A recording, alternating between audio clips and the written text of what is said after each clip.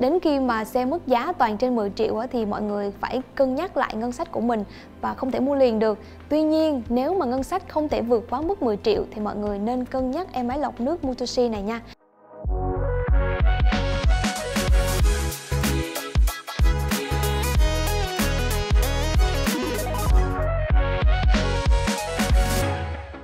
Trong tầm giá dưới 10 triệu mà tìm máy lọc nước RO nóng lạnh vừa phải thỏa mãn yêu cầu là phải lọc nước nhiều khoáng chất nữa thì hơi khó tiền đúng không? Nhưng mà khó thôi chứ không phải là không có. Bằng chứng là trên đang có ở đây máy lọc nước Motosi cho mọi người vừa thỏa mãn yêu cầu mà lại còn vừa túi tiền của chúng ta nữa. Ok bây giờ mình bắt đầu clip để tìm hiểu về nó nhé. Với mức giá hiện đang được bán tại Điện Máy Xanh thì à, phải nói con máy lọc nước này sở hữu được khá nhiều thứ. Ngoại hình của máy hiện đại là kiểu tủ đứng thon gọn mà hiện nay nhiều hãng đang theo đuổi. Có cửa tủ được ốp kính sáng bóng nè, với công suất là 20 lít trên giờ, tỷ lệ lọc thải 5 năm, cùng với đó là 10 lõi lọc đảm bảo cho nước sạch lại có đủ khoáng chất. 10 lõi lọc này cơ bản vẫn có 3 lõi lọc thô đầu, nhiệm vụ là loại bỏ sơ bộ chất bẩn kích thước lớn và mùi khó chịu. Tiếp đó thì nước sẽ được xử lý bằng màng lọc RO 100 GPD sản xuất tại Hàn Quốc. Nó sẽ loại bỏ được tới 99,99% ,99 sạn cát nè, rỉ sét, rong rêu, chất độc hữu cơ, cặn bẩn lơ lửng, virus, vi khuẩn, ion kim loại nặng có trong nước. Bởi vì tính chất của màng RO là nó sẽ lọc bỏ sạch sẽ hoàn toàn kể cả những khoáng chất có lợi hay là có hại cho nên là thường những loại còn lại sẽ là những loại bổ sung khoáng và đảm bảo nước đầu ra không bị nhiễm khuẩn. Chúng ta có lõi TAC T33, loại bỏ chất hữu cơ nè, màu, mùi, cân bằng pH, ổn định lại vị ngọt mát tự nhiên của nước. Sau đó bổ sung các khoáng chất có lợi cho cơ thể và bổ sung điện giải nhờ lõi mineral và lõi bioceramic. Rồi tiếp theo để nước có những khoáng chất đó khi mà uống vào và dễ thẩm thấu vào cơ thể bù nước nhanh chóng thì à, lõi hồng ngoại xa sẽ hoạt hóa và chia nhỏ phân tử nước. Và không nằm ngoài xu hướng là nước uống có hydrogen thì à, máy lọc nước này cũng có lõi lọc là ORB hydrogen. Bổ sung các vi khoáng có lợi làm tăng độ pH, giảm ORB của nước và hỗ trợ trung hòa axit dư, chống oxy hóa, tăng sức đề kháng cho cơ thể. Sau cùng sẽ là lõi nano sliver tiêu diệt vi khuẩn, chống tái nhiễm khuẩn trong quá trình mà nước lưu thông trong hệ thống lọc cũng được xem là bước cuối cùng để đảm bảo nước ra khỏi vòi là nước sạch.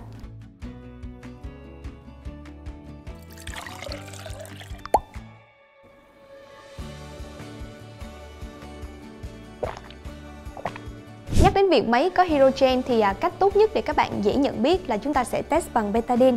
Betadine là dung dịch à, sát khuẩn có oxy hóa và rất đúng với công dụng của hydrogen là trung hòa axit và chống oxy hóa. Vậy thì ở đây à, Trinh đã có sẵn một ly nước lấy từ nguồn. Do nó là nước bình thường cho nên là khi nhỏ dung dịch betadine vào thì nước sẽ hơi vàng đục. Nhưng mà khi làm tương tự với ly nước lấy từ máy lọc nước này á, thì dung dịch được nước hòa tan và trở về với màu sắc ban đầu. Điều đó cho thấy là nước có hydrogen nên đã trung hòa được dung dịch betadine. Chưa dừng ở việc máy trang bị 10 lõi lọc mà nó còn là một cái máy có thể tạo được nước nóng lạnh. Mọi người thấy ở đây máy có hai vòi đúng không? Nhưng mà thực chất là cho được ba loại nước, nguội và nóng lạnh. Dung tích bình chứa nước nguội là 8 lít rưỡi, nước nóng là 1 lít, nước lạnh cũng 1 lít. Vòi ra của nước nóng lạnh là chung ở bên trái, còn nước nguội RO là ở bên phải. Theo hãng công bố thì à, nhiệt độ nước nóng sẽ đạt từ 85 đến 95 độ C và nước lạnh thì à, từ 10 đến 15 độ C. Riêng với nước lạnh là sử dụng chip điện tử làm lạnh. Khi đo thực tế để kiểm chứng thì à, bởi vì do yếu tố môi trường cho nên là chắc chắn sẽ có sai số. Tuy nhiên nếu đo từ lần lấy đầu tiên lúc mà nước đã đạt đủ nhiệt độ thì à, Trinh thấy nhiệt độ thu được nó cũng khá là sát với thông số mà hãng đã công bố. Trinh biết là khi muốn mua máy lọc nước á, thì mọi người sẽ luôn có nhu cầu là muốn có nóng lạnh đúng không? Thật ra thì bạn bè của Trinh cũng như vậy thôi. Và đến khi mà xe mức giá toàn trên 10 triệu á, thì mọi người phải cân nhắc lại ngân sách của mình và không thể mua liền được. Tuy nhiên nếu mà ngân sách không thể vượt quá mức 10 triệu thì mọi người nên cân nhắc em máy lọc nước Mutoshi này nha.